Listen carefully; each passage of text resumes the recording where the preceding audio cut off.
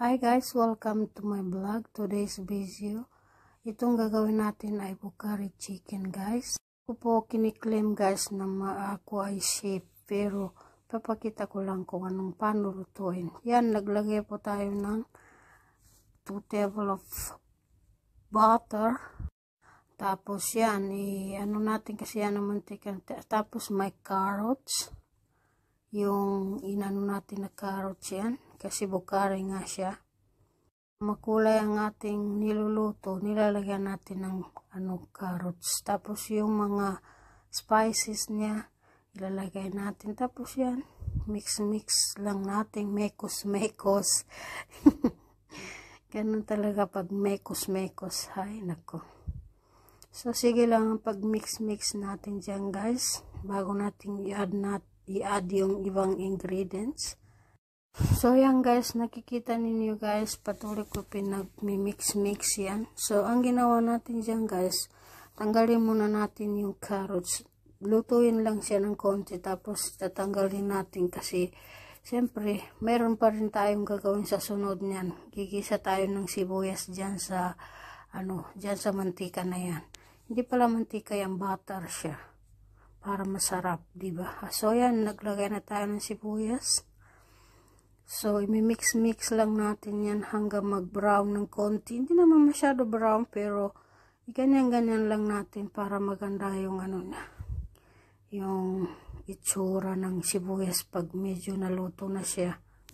So, yan na guys, ilalagay na natin mga spices niya. Alam naman yung kasi nalagyan din dyan ng, sinulatan din dyan ng ano niya, kung ano nilagay dyan. Mahirap kasi magbanggit-banggit pa eh tinatamad kasi ako magbanggit-banggit ng mga spices niya. Minsan yung iba kasi mahirap banggitin. So yan guys, ilalagay na natin yung chicken. Ganyan pala yung ating chicken guys. Hindi natin siya puputuputulin ng ano kasi chicken bukari nga yan siya. So ganyan siya, ganyan ang style niya yung pagluluto natin. Ang niluto natin dyan, dalawang manok siya. Okay, dalawang manok.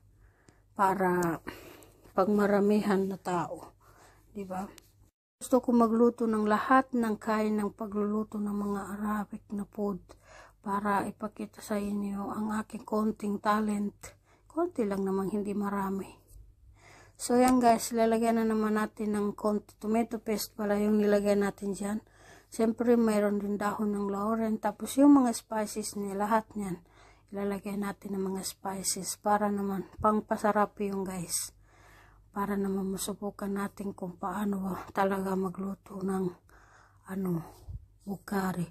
Minsan kulang kasi niluluto ito pag may bisita o di kaya may mayroon tayong party, ganun.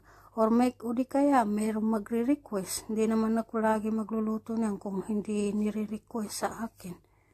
Minsan kasi yung mga kaibigan ko, namimiss nila magkamain ng mga ganyan luto eh kung meron akong oras, pinagbibigyan ko naman sila. Siyempre yan, ilalagyan na natin yung tubig. Lagyan natin yung tubig siyempre para maluto ng maayos, di ba? Ayan guys, patuloy pa rin natin siya i-mix guys. Ayan, kumukulo na siya guys. So, pakuluin lang natin siya na mabuti. Tapos, pag um, kumukulo guys, patuloy pa rin natin ng ano, pagpapakulo. So, yan, yung kumukulo na siya ng maraming ano, kulo. Siyempre yan, ang gagawin natin, tanggalin natin yung manok, diba? Tapos ilalagay na natin ng rice na inugasan natin. Hindi ko na pinakita kung paano ano kasi marami kong kinat dito kasi ang haba-haba naman itong video na to guys. So yan guys, mix lang natin yung rice tapos mamaya naman takpan natin. Pakuluin natin yung rice para maluto siya tingnan natin kung ano. So, yan na guys, naluto na siya. Nilagay na natin yung carrot sa ibabaw, no, yung ginawa nating, ano, ginisa natin ng sa butter para pang pakulay yan. So, yung, yung manok pala na yan na pinakuluan natin, lagyan natin siya ng, ano, sa ibabaw, mantika na meron siyang, ano, color. Tapos, ilalagay lang natin yan sa oven, guys, para masarap. Hindi natin ipaprito sa oven siya sa oven natin siya lulutuin para masarap. So yan na guys, luto na siya. ready na to ilagay natin. So, yung ka kanin, isandukin natin, ilagay natin sa malaking tray. Tapos, mag ano na tayo ng gandahan ng ano, ano ba yung pag uh, lalagay ng kanin para maganda tingnan. Ano ba yung mag ano lang, para lang picture di kaya video. Di ba magpa-plating. Ganyan lang siya guys. Madali lang magluto. Kahit anong luto guys, madali lang namang lutuin yan sila. Pero kailangan din ng effort natin. Maraming trabaho, matrabaho siya. Pero okay lang siya, pero masarap naman siya. So yan guys, yung kanin, ilalagay mo lang sa taas ng kanin. Ay, yung rice, ah, sorry. Na ano talaga ko, yung manok, ilalagay mo lang sa ibabaw para decor niya. Pero mamaya-maya, kainin naman. So, nilagyan na natin siya ng dahon ng ano. Guys, patapos ng video. Thank you for watching.